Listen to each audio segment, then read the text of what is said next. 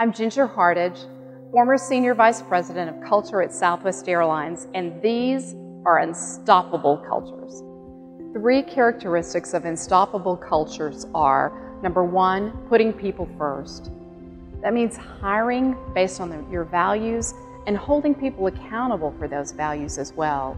Number two is nurturing your culture, having the systems in place, be that recognition, training, whatever it takes to have the employees be your number one representative, allowing them to act like owners in nurturing your culture.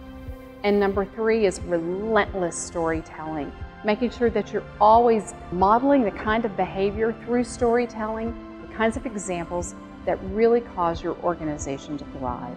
The key to an unstoppable culture is having every employee realize that it's their responsibility to keep that culture alive.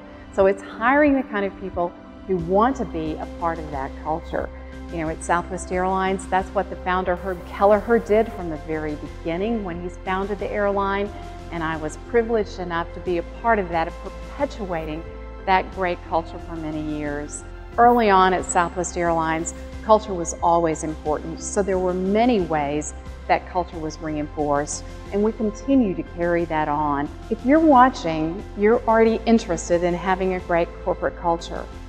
I hope Unstoppable Cultures can be along the path with you as you look at how to empower your employees, how to put the systems in place that will nurture your culture, and how to really turn up the volume and amplify what's already happening great in your organization you and your organization are invited to join us on this journey of unstoppable cultures as we build and sustain cultures of enduring greatness.